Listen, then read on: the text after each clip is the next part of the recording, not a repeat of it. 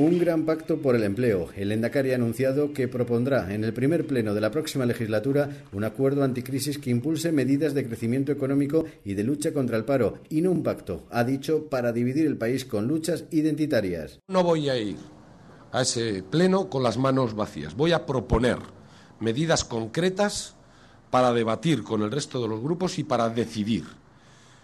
Primero, un gran compromiso para dedicar todo el dinero que recaudemos con el impuesto de sociedades a la reactivación económica y a planes de lucha contra el paro. En Churdínaga, Bilbao, acompañado por un grupo de parados, Pachi López ha explicado su intención de ampliar los programas de convenios con empresas vascas para planes mixtos de formación y contratación. También ha anunciado medidas de impulso a los emprendedores facilitando la creación de empresas. Nos va a hacer falta trabajo y colaboración de todos, y en Euskadi tenemos motivos y razones para la esperanza, dice el Endacari, quien ha criticado a los que hablan de la reducción del presupuesto.